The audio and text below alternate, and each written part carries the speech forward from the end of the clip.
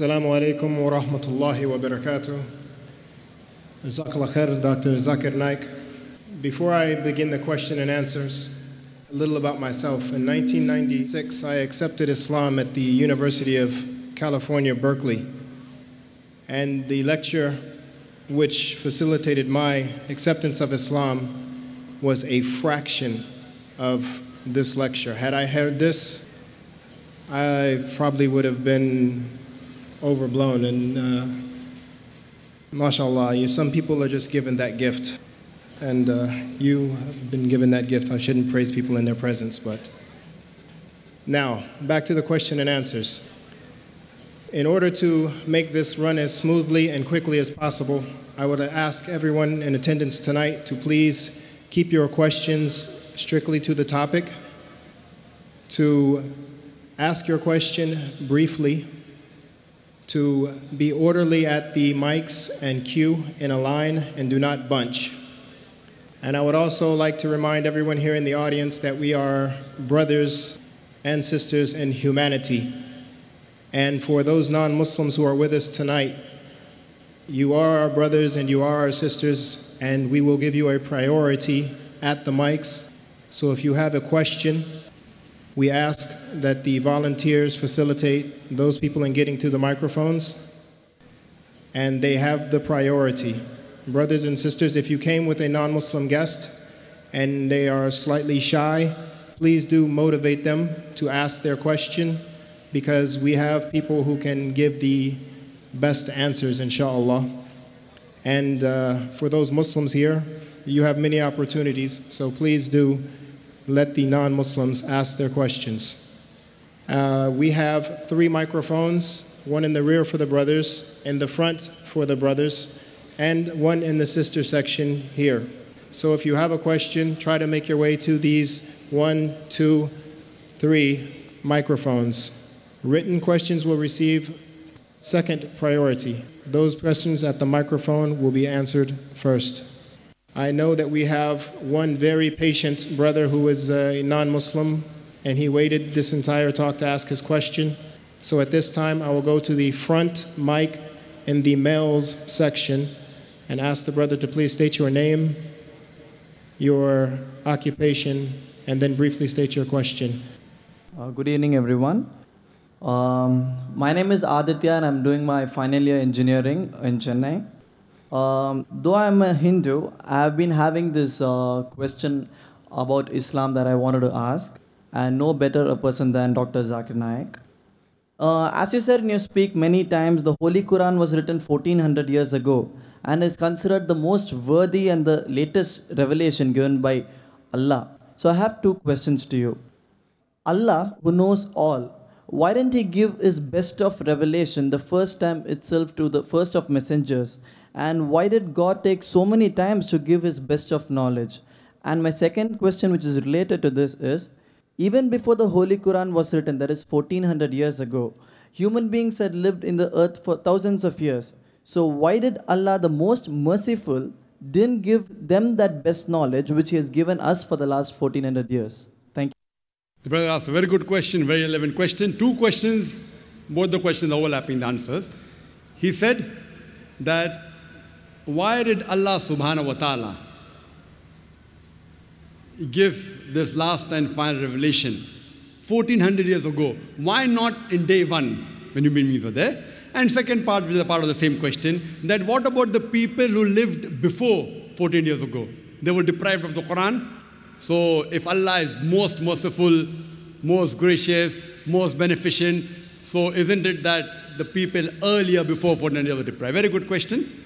To reply a question, my son, he tells me that, Abba, father, you want me to become a doctor? Why do you put me in nursery, first standard, second standard, then school, then college? Why don't you put me into medical college directly? If I want my son to become a medical doctor, I don't have to put him into the medical college directly. I have to first make the grounds very clear. First, he goes into the pre-primary school, then goes into the school, first standard onwards on passes school, then goes to the higher school, then college, and when he's fit, then he enters the medical college. Similarly, Almighty God, who has knowledge of the unseen, has knowledge of everything, he even has knowledge of the human beings. So it is mentioned in the Quran, in Surah Ra'd, chapter number 13, verse number 38, Allah says, لِكُلِّ أَجْلٍ كِتَابٍ that we have sent a revelation in every age, in every period. By name, four are mentioned in the Quran Torah, Zabur, Injil, and the Quran. But there were several revelations sent. The first revelation, Almighty God knew that the human beings had to develop. If He would have revealed the Quran at the first time, at the time of Adam, peace be upon him, he knew the human beings won't be able to grasp it. That is the reason in the revelation that came before the Quran, that is the Injil. Today we have the Bible, though we don't consider the Bible to be the Injil, but some parts of the Bible may be the Word of God. It's mentioned in the Bible, in the Gospel of John chapter number 16, verse number 12 to 14, Jesus Christ, peace be upon him, says, I have many things to say unto you, but ye cannot bear them now. For he, when the Spirit of truth shall come, he shall guide you unto all truth. He shall show you the way to come. He shall glorify me. So here, Jesus Christ, peace be upon him, he knew, but yet he said that you will not be able to grasp it. Therefore, when the last and final messenger will come, he will show you things to come. So similarly, Almighty God, he knew very well that when is the right time for the human beings to receive the last and final revelation, the Quran, and that was about 1400 years ago. As far as the second part of the question is concerned, what about the people that came before the Quran was revealed? I will tell them that if my son goes to standard one, he will not be given the medical question paper. He'll be given the question paper of standard one. If he goes to higher school, he'll be given the question of higher school. Then junior college. Fine? So, similarly, the basic message of Almighty God in all the scriptures, in all the revelations, from the first revelation till the last revelation, Quran was the same that you have to believe in one God, that you have to worship Him and no one else. So all the messengers, right from the first messenger, Adam, peace be upon him, right down to Noah, Abraham, Moses, Jesus, Muhammad, peace be upon them all, all of them taught the basic message of oneness of God and about Tawheed. And about this message, of oneness of God and Tawheed. Inshallah, I'll be discussing in detail on the last day of this conference, on the last Sunday, that the 20th of January, inshallah. Hope that answers the question. Thank you for the question. Do we have another question from a guest here, non Muslim? Okay, we'll go to the gentleman section, rear microphone. Gentlemen, could you please state your name and your occupation, please? Good evening, everyone. My name is Sanjeev. Um, I'm working here in Land Marble Company as an admin executive. Uh, I got a few questions, but I'll ask only two questions uh, regarding this uh, Islam. First question is, uh, do Islam believe in rebirth? Uh, and second question is, in Islam, it's not allowed to commit suicide. But many people that in Pakistan, in Arabic countries, they are uh, blowing themselves up and they are killing many people. So who they who are the people they are motivating them? Whether they are really following the Islam or who is motivating them? That is my question, sir. The brother has two questions. The first question, does Islam believe in rebirth? And the second question, that is suicide prohibited in Islam? How come people in Pakistan, other part of the world, they're blowing up themselves and killing themselves? The two questions. As far as the first question is concerned, that does Islam believe in rebirth? If you ask only in rebirth, yes, Islam believes in rebirth. What we believe? That a human beings come to this world once. The Quran says that we give you life and come on this earth. Then we cause you to die, and then we resurrect you again in the next life. This is exactly what is mentioned in the Vedas. If you read Rig Ved, book number 10, it speaks about Punarjanam. Punar means next, Janam means life. So the Ved speaks about Punarjanam, about the next life.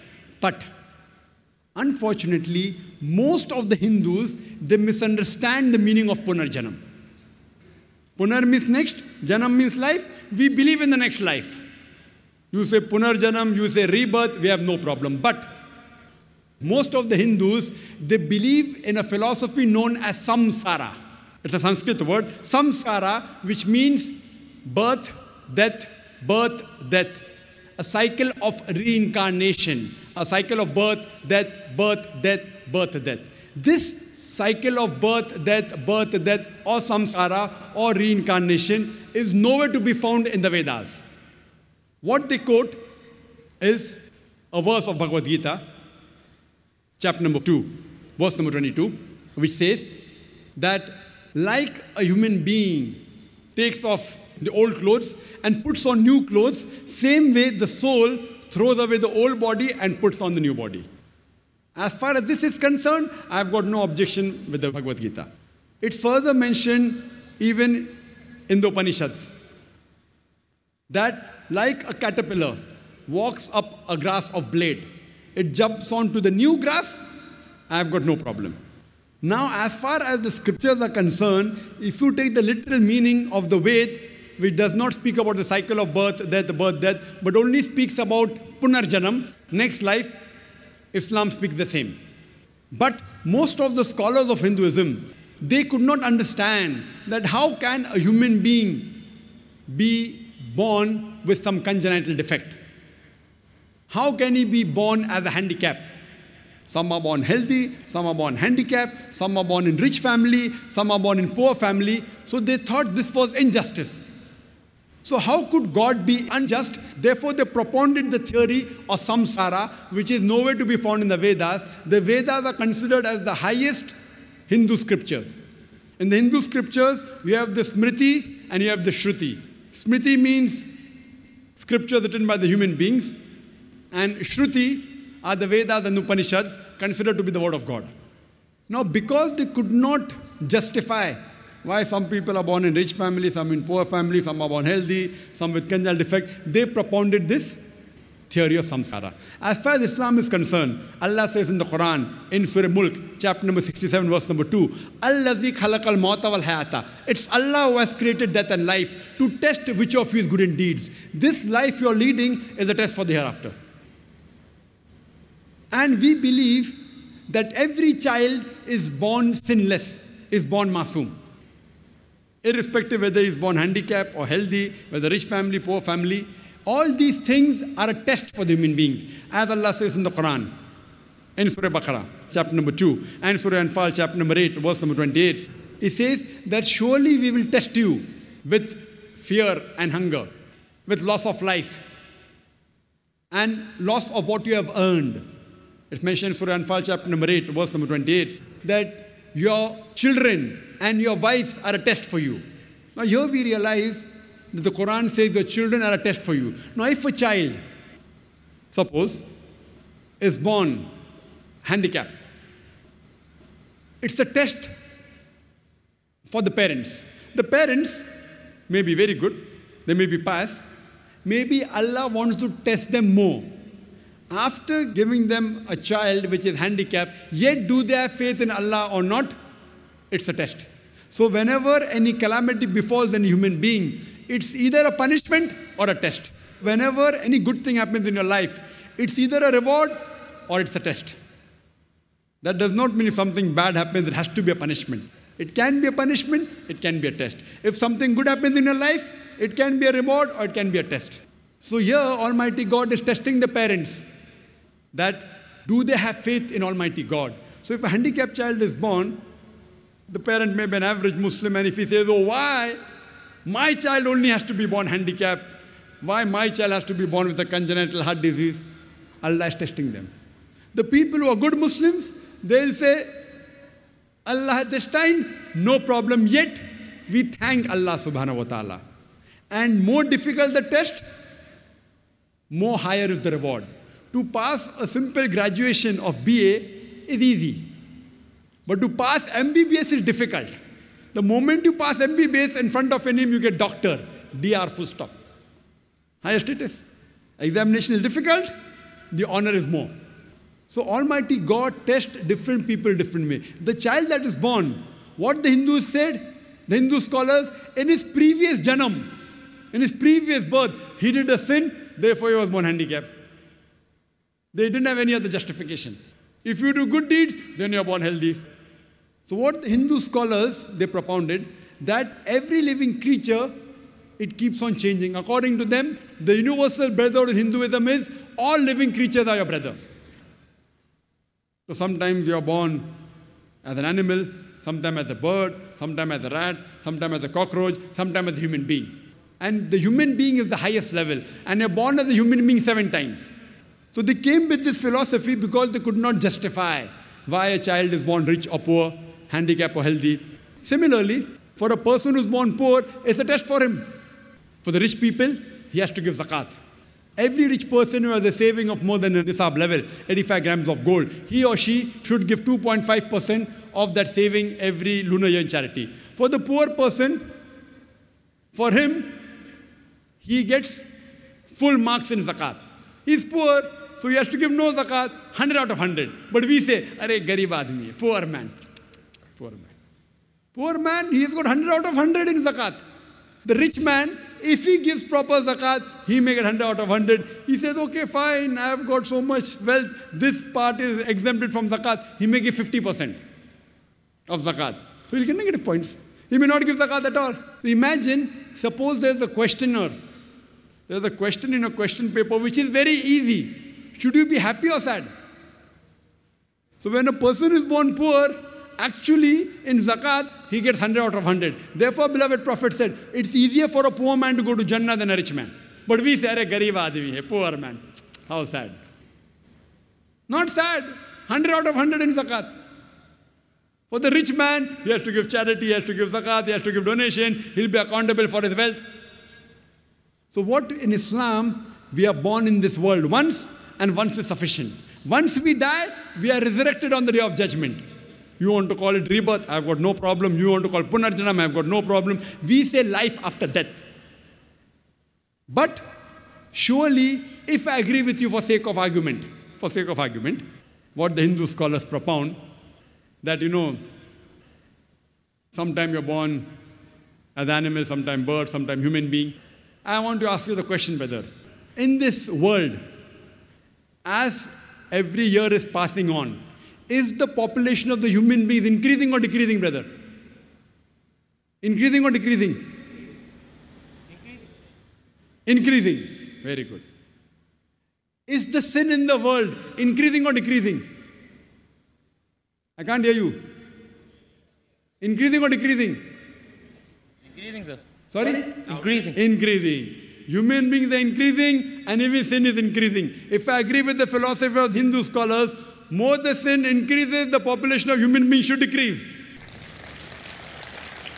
So therefore, I believe in going to the higher scriptures, Vedas. When I talk, which I had given the talk earlier in Chennai, during the first peace conference, that was in 2004, similarities between Islam and Hinduism. And there I showed and compared that even in Vedas it speaks about one God, no idol worship, and everything. So what is common between the scriptures we follow? So this, the cycle of samsara, birth, death, birth, death, is nowhere to be found in the Vedas.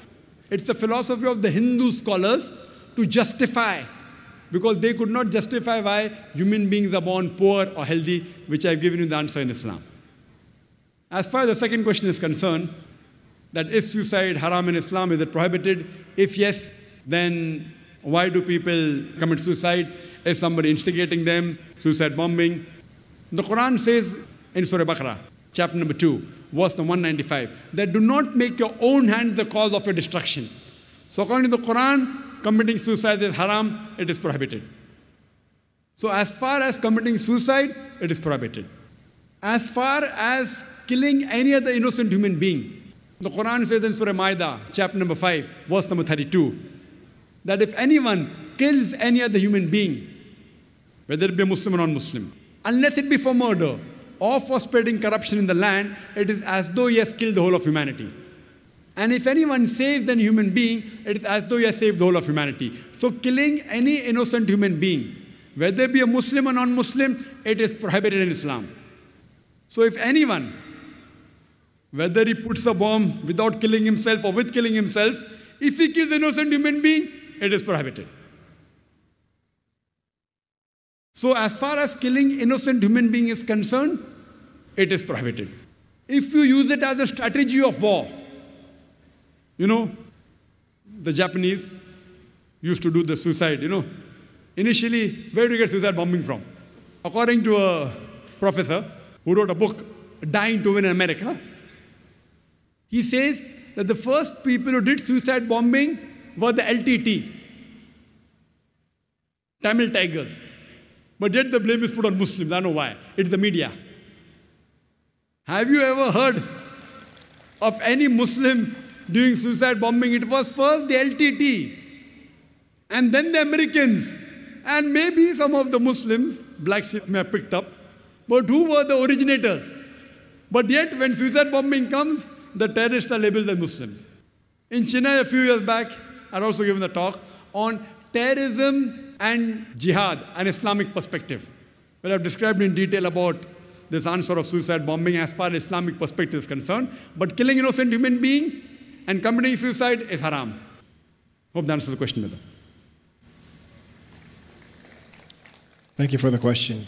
We'll go to the front mic with the males. If there are any other non-Muslims at the back mic or the sisters' mics, just have the volunteers raise their hands. Any non-Muslim ladies are most welcome to ask the question. And if there are any non-Muslim in the audience, please feel free to come up on the microphone. It's your opportunity. And as previous times I've come to Chennai, Alhamdulillah, all the questions were asked by non-Muslims. So I hope even now the non-Muslims of Chennai, mashallah, are bold enough. You can ask any question, even if it's a criticism. Even if you disagree whatever I say, no problem. Come up and ask the question. Believe me, I'm young, but I can take it. You can criticize the Quran, you can criticize Islam, you can ask, this is the opportunity. Please come up on the microphone and have the doubt cleared. This is the opportunity. And there you've heard it from the man himself. So, your name and occupation, please. My name is Ramakrishnan. I'm a software engineer. I have two questions for you. The first is what does Islam say about donating organs after death?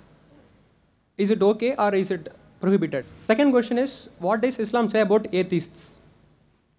That's it. The brother has two questions. I think non-Muslim are one asking two, no problem. The first question is, what does Islam say about donating organs? Second question is about atheist. As far as the first question is concerned, what does Islam say about donating organs? There's no direct verse in the Quran or any Sahih Hadith which says whether organs can be donated or not. But are various conferences that have held in Saudi Arabia, in Malaysia, and various different parts of the world. And the scholars have come to a common consensus that if three things are fulfilled, then organs can be donated. Number one, the person who requires an organ, but natural, it should be a major benefit to his health. He can receive organ as long as it's a major benefit or saves his life. Point number two, the person donating the organ, after he donates his organ, it should not be a major loss to his health. For example, if I donate my heart, I will die. So I can't donate my heart. But the doctors say that out of two kidneys present, a person can even survive with one kidney. So if my mother has a kidney failure, both the kidneys have failed, I can very well donate my one kidney to my mother, even she lives, even I live. But naturally, after a person dies, if he wants to donate any other organ, that is permissible. But if he's alive, he should not donate any part of the body which will cause a major damage to his health or a loss of life. And the third criteria is it should not be for money. No one should sell organ. If all these three conditions are fulfilled, then organ donation very well can be done. As far as the second question is concerned, what does Islam have to say about atheists? As far as I'm concerned, whenever I meet an atheist, are you an atheist, brother? He said, no. Whenever I meet an atheist, the first thing I do is I congratulate that atheist. People may wonder that why is Zakir congratulating atheists? The reason I'm congratulating atheists is because most of the human beings, they usually do blind belief. He is a Hindu because father is Hindu. He is a Christian, father is a Christian. Many Muslims are Muslim because father is a Muslim. Now this atheist, he's thinking. He may be coming from a religious background. His father may be pious. But he does not believe that how can there be a God who requires to eat, a God who can die, a God who can lie. So the reason I congratulate the atheist is because he has said the first part of the Islamic Shahada, Islamic creed, La ilaha, that there is no God. The only thing I have to do is illallah, but Allah. which I shall do inshallah. So half my job is done. To a non-Muslim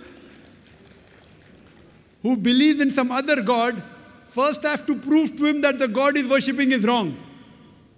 And after I prove to him that the God is worshipping is wrong, then I have to prove to him about the correct God. Here, the atheist, half my job is done. He already agrees in the first part of the Islamic Shahada, La ilaha, there is no God. The only thing I have to do is illallah, which I shall do inshallah. The first question asked to the atheist is that what is the definition of God? If anyone says there is no God, to say there is no God, he should know the definition of God. If he does not know the definition of God, he cannot say there is no God. For example, if I say this is a pen, is this a pen? No. It's a book. To say this is not a pen, you should know the definition of pen. Some people say, no, Zakir, I know this is a book, so I can say it's not a pen. I said, no.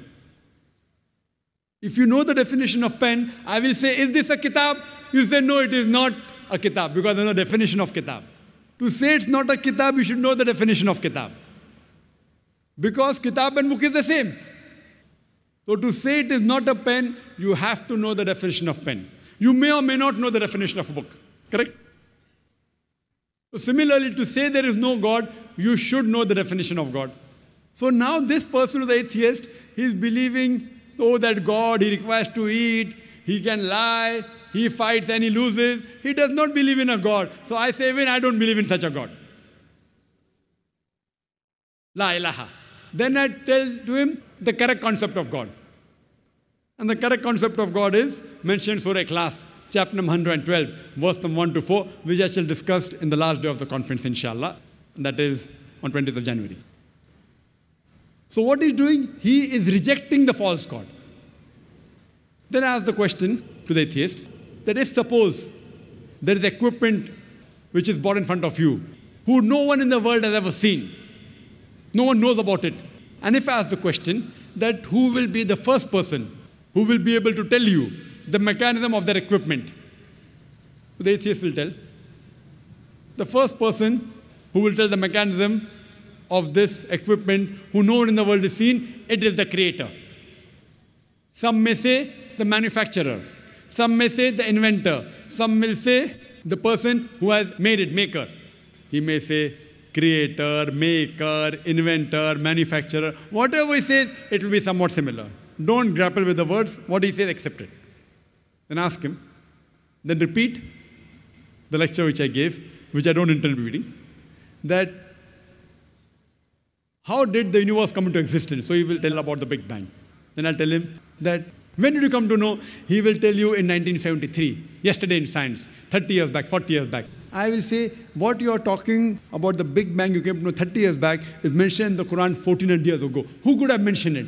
He will say, maybe it's a fluke. Don't argue with him. Continue. What is the shape of the earth? He will tell you, previously people thought it's flat, now we know it's spherical.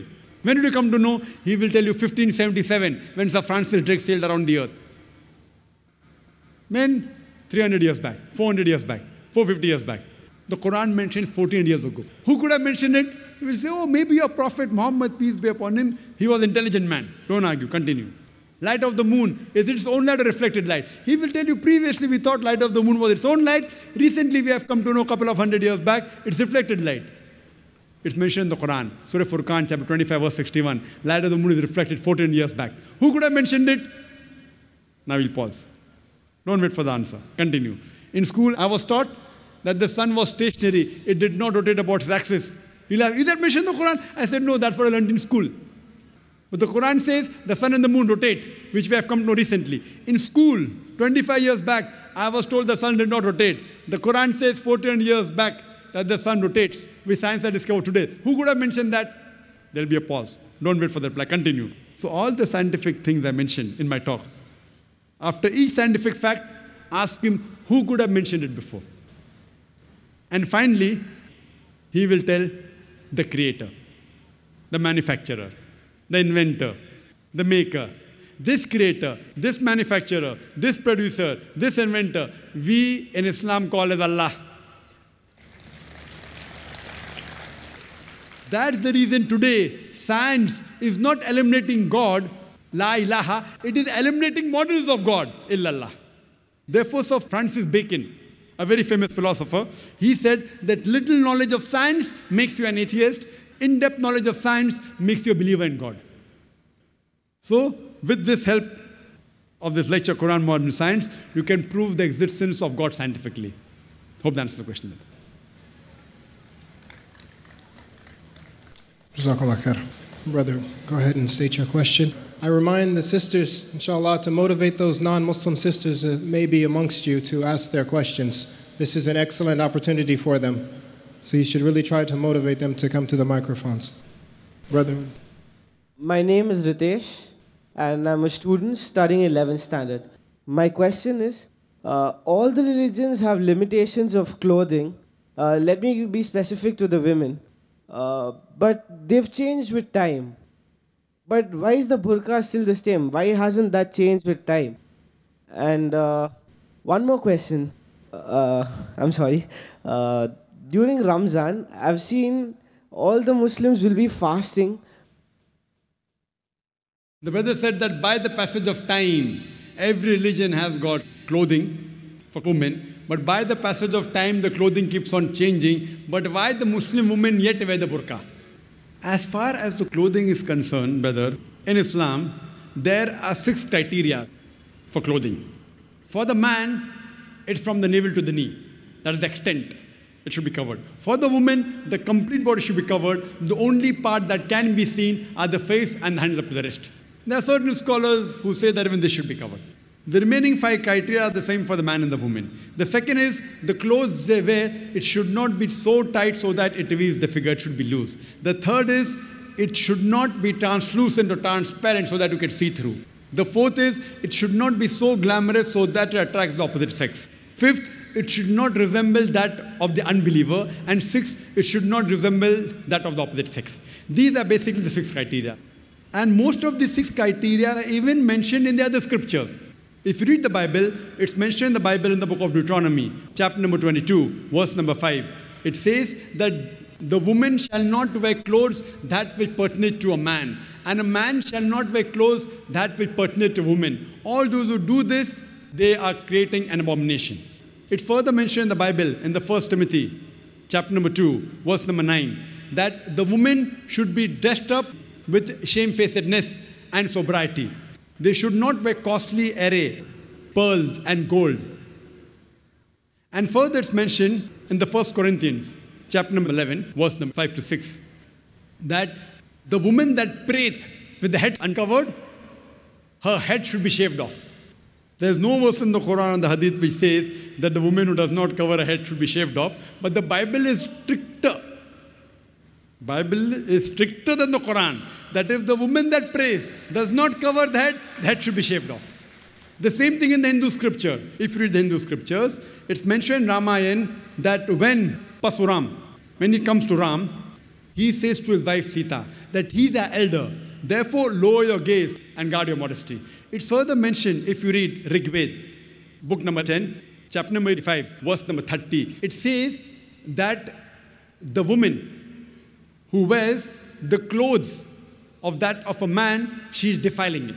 She should not wear the clothes of a man. Further, it's mentioned that in Rig Veda, book number 8, that Brahma has ordered that the woman should cover her head. So in Hindu scriptures, Christian scriptures, Muslim scriptures, modesty is there, covering the head is there. By the passage of time, I do agree with you that Christianity now, you only see the nuns covering the head. They are called pious. If Muslim women cover their hair, they are called as subjugated. Why? Double standards. If you see a nun covered properly, therefore you see the photograph of Mother Mary. Have you seen the photograph of Mother Mary? Like a Muslimah. And she was a Muslimah, Muslim woman. Properly covered, with the wrist, only face seen. What I do agree with you, if you stick to the six criteria, by fashion, the types of hijab, the burqa, abaya has changed. As long as you follow the six principles of Islam and you change the color from black to blue to brown, no problem. As long as you don't break any of the six criteria, therefore you see new, new styles of hijab. But some styles of burqa, they are so fashionable that they break the law of Islam. There are so many shiny sequences coming that you're attracting the opposite sex. So that is haram. But otherwise, you want to wear red, you want to wear black color, no problem. People think black is compulsory. Black is not compulsory. If you wear black, maybe you may have to wash the burqa once in a week. If you wear white, you may have to wash every day. The choice is yours. You wear white and wash it every day. You wear black and wash it once a week. Choice is yours. As long as it doesn't break any of the criteria, six criteria of hijab. So now there are new types of hijab coming. As long as it doesn't break, you're allowed. But it should be modest. If it's modest, it's accepted. Second question. That you see in Ramadan that people fast. When they fast in the day, in the evening they feast. And I would like to thank you for asking this question. See, why do we fast? Allah says in the Quran in Surah Baqarah, chapter number 2, verse number 183, that fasting has been prescribed to you as it was prescribed to people who came before you so that you may learn self restraint, you may learn taqwa. And today, scientists they tell us if you can control your hunger, you can control almost all your desires. So if you can fast, you can control your other desires. But I do agree with you, if not all, many Muslims, if you say most also, I would not mind agreeing with you, that they fast and when they break the fast, they feast. So that defeats the purpose, I do agree with you. And many of them convert the day into night and night into day. They sleep the full day and the full night they're playing cricket. In India, cricket. So you have to lead a normal life. Like a normal life, you have to do more ibadah, you have to worship God more. So normally when you fast, but natural, your meals are reduced. It is medically beneficial. But if you overeat, then there'll be a problem. But if you do it the correct way, there are various medical benefits of fasting, which you can refer to my video cassette. And I've given 64 episodes on fasting, which come during Ramadan. And inshallah, you can watch the various benefits of fasting. Hope that answers the question. Sister side, if you have a question from a non Muslim sister, could you please state it? Assalamu alaikum. This is on behalf of a non Muslim, Sister Vandana. She says, I'm new to this concept, uh, have limited knowledge, therefore asking a basic question. If out of 6,000 verses, 1,000 are about scientific facts, then what really is the essence of the Quran? Sister asked a very good question. That if the Quran contains more than 6,000 verses, and more than a thousand speak about science. What is the essence of the Quran? Sister, as I mentioned in my earlier answer, the basic essence of the Quran is Tawheed.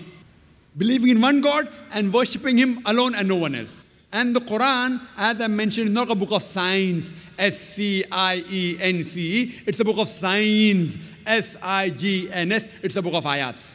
The Quran is a book which shows you how a life should be led. And when I had a debate with Sri Sri Ravi Shankar, I said, This is the best book on art of living. If there is any book on art of living which is the best, it is the Quran. Best book on art of living. And it has a membership of more than 1.3 billion people. So this book shows you how to lead a life. Now, many a times you understand that because the Quran is the word of Almighty God, one verse of the Quran has got multiple angles. Now, the same thousand verses which are speaking about science, it doesn't mean it only speaks about science. It speaks about various other aspects also. That's the beauty of the Quran.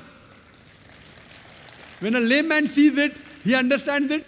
When a scientific man sees it, he sees it in a different angle. It satisfies both. So that's the beauty of the Quran. That does not mean that Quran is a book of science. Yes, but there is not a single verse of the Quran which goes against established science. Because it's a book of Allah subhanahu wa ta'ala, Almighty God. So this book is a book of guidance, how a life should be led. It shows a person to believe in oneness of God, how to worship Him, and how to lead the life. The pros and cons, the farais, what a human being should do, and the prohibited things that you should abstain from. It's mentioned in the Quran. Hope that answers the question, sister. Sister, if you have another question, go ahead. If it's from a non Muslim. Your presentation is impressive, but could you just ask this group to raise their hands who knew some of the information that you mentioned now? The thought here is why is general education and the learning of the Holy Quran not integrated? Sister has a question that from the audience, how many of you knew the major portion of what I've said in the lecture? Please raise your hand. Major portion of what I've mentioned, mashallah, you can say most of them. At least more than 50%, if not all. And the reason is that I've written a book also, Quran and Modern Science, compatible and compatible, which has been distributed in the conference.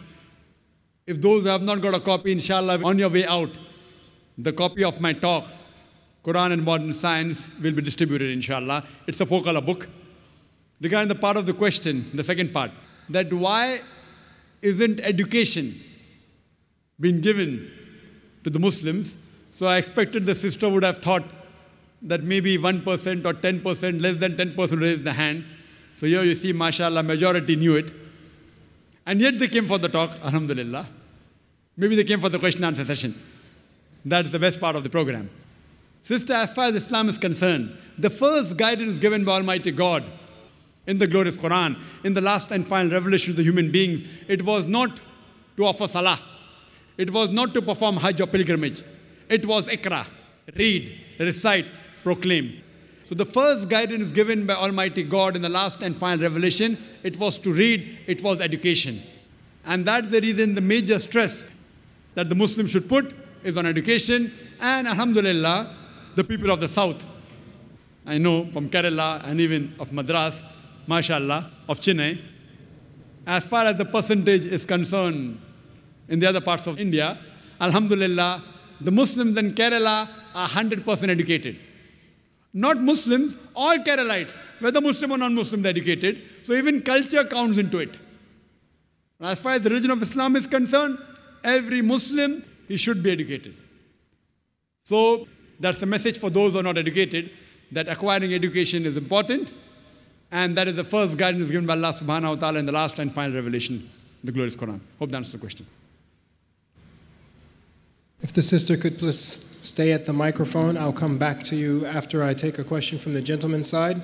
If you have more questions from non Muslims. If there's another sister who has a question, non Muslim, then please allow her to come to the mic and ask her question as well. But until then, I'll go with the brother in the front. Good evening again, everyone. Uh, it was amazing to see how much uh, science that the glorious Quran contained after your talk. But in most of the examples from the Quran which you gave, it is very difficult to comprehend what the Quran tells before actually the science discovers or invents that particular phenomenon. For example, you said, in the honey, there is healing of humanity in the Quran. And you mentioned it as it's about if a person is maybe say poisoned with a plant, the honey of the plant should be taken. So, what is the use, say, of a almighty holy scripture talking about things which are only able to comprehend after the real invention is made by science? So can you tell me now something from the Quran which will be invented by science later or yet to be invented? Brother, that's a very good question that I've mentioned many things about science indirectly saying all this was already discovered earlier. And if Quran says something and after science has discovered, so what's the use? Can you tell me something which science hasn't discovered? Brother, that's the reason the Arabs were advanced in the field of astronomy. Why? Because they read the Quran. The Quran has a lot of information on astronomy. So when they read the Quran, they try and do more investigation. They do more research. And that's how they come to know. Quran is a telegraphic message. See, the book of science, only on one subject. In medicine, one subject only requires volumes. So if that way the Quran is, this Quran, most of the human beings, they don't like to read. Oh, such a big book. So if God Almighty wrote in detail, then even a big building you will require thousands of buildings to contain the message of the Quran. Quran is telegraphic message. So in telegraphic message, many of the Muslims, they read the Quran and they made advances in science. That's the reason we find, if you go back into history, the Muslims advanced in science and technology. But you pose the question, forget about the past. What about today? All what I've mentioned has been discovered earlier, but many of them were discovered by Muslims, some by non Muslims, some by Europeans. What about things which science hasn't discovered? Fine. First, I'll tell you those things which science hasn't established, but yet there are high chances, which Quran has testified, and I believe in it. For example, Quran says in Surah Shura, chapter number 42, verse number 29, that it's Allah subhanahu wa ta'ala who has created the creatures in the heavens and the earth and has placed creatures in them. So Quran says there is life beside this earth. Today science hasn't proved there is life beside this earth. Scientists say there are high possibilities that life will be there beside this earth. So they're sending rockets, spaceships, moon, Mars. Quran says there's life beside this earth. I believe in it. Science may discover it tomorrow, after five years, after 10 years, after 100 years. Quran says, I believe in it. Today, there are many hypotheses how the world will end. It says that the sun will become big and the world will end. The mountains will fall down. The mountains will become smooth. The ocean will swell up. The world will enter into a black hole. Many hypotheses. Many of these hypotheses, not all, they match with the Quran. Quran says in Surah Qiyamah, chapter number 75, verse number 8 and 9, that the sun and the moon, they will join together. The sun will be buried in darkness. If it's Surah Takwir, chapter number 81, verse 1, 2, and 3, it says that the stars will fall down and lose their luster. The mountains will fall down to utter ruin. The ocean will swell up. It's mentioned in Surah Infitar, chapter number 82, verse 1 and 2 and 3. Again, the ocean will swell up. The stars will fall down. Similar to many of the hypotheses. But Quran says, I believe in it. Quran further says in Surah Anbiya, chapter number 21, verse number 104, we have created this creation, we will destroy it and create a new creation. Science hasn't discovered that yet. Quran speaks about life after death. Science hasn't proved that yet. Quran speaks about heaven and hell. Science hasn't proved about that. Quran speaks about jinn. Today psychologists say extraterrestrial power. There are some people who get possessed with jinns. Quran speaks about that. Quran speaks the first man on the earth was Adam, peace be upon him. Science hasn't proved. There are high possibility science will prove. Now you may ask me, that brother Zakir, you gave such a good talk on science and technology with 100% solid proof. You believe in life after death? You believe in jinn? You believe in heaven and hell? You a doctor? Isn't this unscientific? I said, no, brother. I believe that it is scientific. Suppose whatever the Quran has mentioned, 80% has proved to be 100% correct. I spoke about astronomy, about geology, motorcycle, oceanography, botany, biology, zoology. So just hypothetically, 80% what the Quran has mentioned, suppose, has been proved to be 100% correct. The remaining 20% is ambiguous. Neither right, neither wrong. Not even 0.1% of that 20% which is ambiguous has been proved to be wrong. There is not a single verse of the Quran which can be proved false by established science. Hypothesis. So my logic says when 80% is 100% correct and the remaining 20% is ambiguous, but not even 0.1% of that 20% is proved wrong. So my logic says that even that 20% inshallah will be correct. If not today, tomorrow, after 50 years, after 100 years, after 1000 years, Allah alam, God knows, they will prove there is life after death. They will prove there is jinn. They will prove there is hell. There is proof there is heaven, and so on and so forth. I can give another lecture on things which science hasn't proved, but inshallah will prove. Hope that answers the question. Thank you for the question. Sister Side, if you have another question from a non Muslim sister, could you please state it? Uh, this is the last question from Sister Vandana. Your memory and grasping is phenomenal. Is there any mention about better memory power?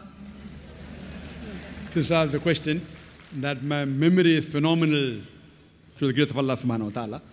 Is there any verse in the Quran which speaks about memory? As far as people keep on asking me that what is the secret? Do you have a computer chip? What is the secret?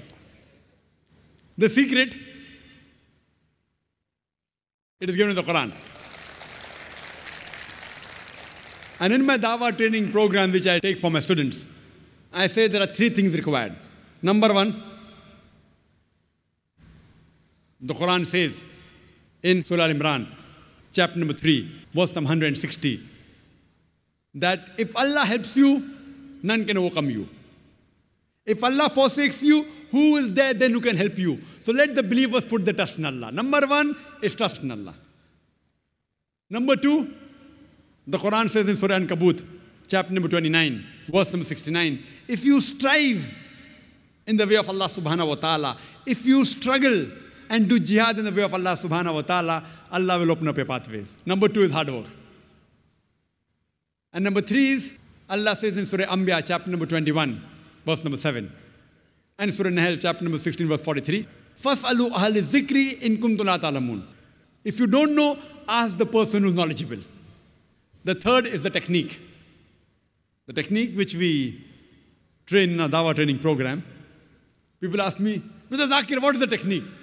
I tell that is the third and the least important. Number one is faith in Allah. With all your techniques in the world.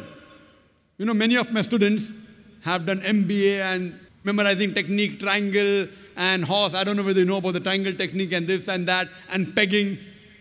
Initially, they are good students. Towards the end, they come at the bottom. Allah's help is the best, better than any pegging or any triangle, anything. Number one. How do you get Allah's help? If you strive in His way. You strive in His way, you have to get success. If you don't get success, you are not striving correctly in the way of Allah subhanahu wa ta'ala. Regarding technique of memory, etc., that is least important. We have a training course where we have a 40 days training course where we train people, and mashallah, you'll be shocked that even my students, alhamdulillah, they quote chapter number, verse number, chapter number, verse number. We have our training program where we get students from different parts of the world and we train them in how to give lectures, how to handle question answer session. It's training and hard work also. As far as the verse of the Quran is concerned, before the beginning of my talk, I always quote a verse of the Quran from Surah Taha, chapter number 20, verse number 25 and 28, which says, Rabbi shuhali sadri. This was a dua when Almighty God, Allah subhanahu wa ta'ala, tells to Moses that go and deliver the message. And before delivering the message, Moses, who was a stutterer, he used to stammer. And those who know me personally, even I was a stammerer when I was a child. And in my dream, a person can dream of anything in the world. In my dream, I could have dreamt of becoming the best surgeon in the world. But I couldn't have dreamt of speaking in front of 25 people because I was a stammerer. People ask me, What is your name? I said, My name is Zakir. That was me. Now, coming in the way of Allah subhanahu wa ta'ala, maybe about 10, 15 years back when I got involved in the field of dawah, when I started doing dawah, stammering wasn't there. When I spoke with Christian missionaries, stammering used to vanish. I never thought of becoming a speaker. I came on the stage because my colleague was cold feet. I came, it clicked, and now I'm on the stage. And now, by Allah's grace, I give lectures to tens of thousands of people, hundreds of thousands of people. The largest gathering is a million people live, Alhamdulillah. That comes back to the verse of the Quran. When Moses was asked by Allah subhanahu wa ta'ala to deliver the message to Pharaoh and his people, he read a dua, a dua, a prayer from Surah Taha, chapter number 20, verse number 25 to 28, which says, Rabbi shrahali sadri. O my Lord, expand my breast for me, expand my center for me. Rabbi shrahali sadri. Vayassirli amri. And make my task easy for me. Rabbi shrahali sadri. Vayassirli amri. Wahalul ugdata min lisani yafkahu qawli. And remove the impediment from my speech. Because Musa salam was a stammerer. I also was a stammerer. Remove the impediment from my speech so that they will understand me. So the people to whom I'm delivering the message, I ask Allah subhanahu wa ta'ala to expand my breast for me, to make my task easy for me, remove the impediment from my speech so that the people will understand me. So this is a dua which can also be used for memory. But the main is having faith in Allah, second is striving hard, and third is technique. Hope that answers the question. That will be the last question for the evening. And with that, we would like to end this, the second night of the 10 day international conference and exhibition brought to you by Peace Vision of Islam for harmony, awareness, and education. Jazakallah khair for your attendance.